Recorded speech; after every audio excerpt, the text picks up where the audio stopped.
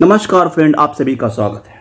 Friends, pension updation case bankers के जो pension updation case MC Singla versus Union of India ये case 4 जुलाई 2023 के लिए हियरिंग के लिए फिक्स था। As per the supreme court status जिसमें टेंटेटिवली लिखा था, अब ये केस 18 जुलाई 2023 के लिए शेड्यूल हुआ है। जैसा कि पता है कि last date of hearing twentieth जनवरी 22 था। उसके बाद से अभी हियरिंग की डेट केवल लग रही है, लेकिन हियरिंग हो नहीं रही है। ये बार बार बढ़ जा रहा है।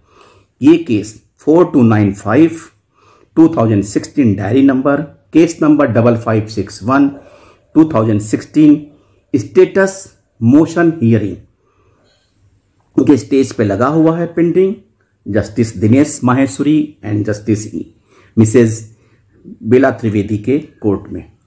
और 20 जनवरी 22 के बाद कोई सुनवाई नहीं हुई, और उसके बाद ये अभी जो नेक्स्ट फोर्थ जुलाई 23 को नियत था, लेकिन अब जो सुप्रीम कोर्ट साइट पे स्टेटस दिख रहा है, उसके हिसाब से ये 18 जुलाई 23 को शेड्यूल हुआ है, और उसमें यह भी है कि tentatively computer generate likely to be hearing तो ऐसे में हम अभी ये भी नहीं सुनिश्चित हैं कि क्या 18 जुलाई को यह हियरिंग हो जाएगी।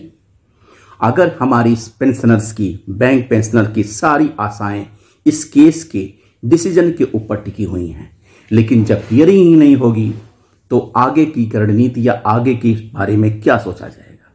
ये अपडेट है फ्रेंड्स थैंक यू नमस्कार.